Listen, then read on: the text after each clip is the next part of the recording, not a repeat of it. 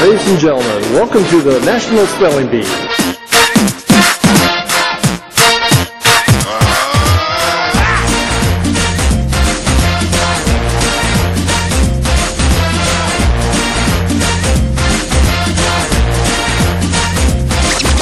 Can you spell yacht?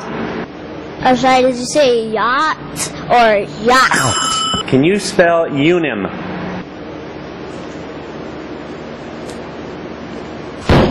Can you spell zazarula?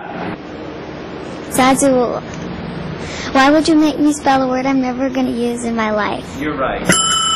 Usama bin 14. Yes. That's the worst word ever. Can you spell map? Matt. Well, I personally believe that U.S. Americans.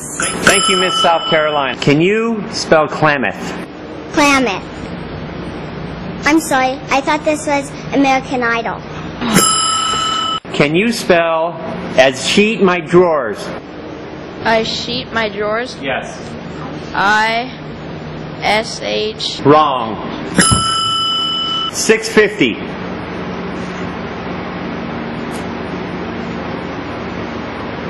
Can you spell Armstrong and Getty? Armstrong and Getty. Yes. Did you say Armstrong and Getty or Armstrong and Getty? Yes. Armstrong and Getty. Can I have an origin of the word, please? It is named after Jack Armstrong and Joe Getty.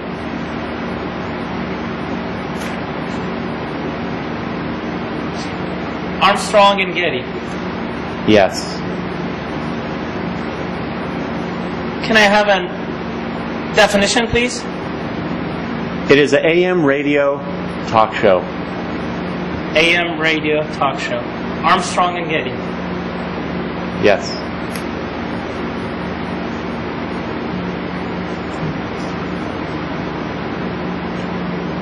Can you use it in a sentence, please? If you don't listen to the Armstrong and Getty show, it is because you live in the caves of Afghanistan. Armstrong and Getty. Yes. Armstrong and Getty. Um, Armstrong and Getty. Armstrong and Getty. A R M S T R O N G A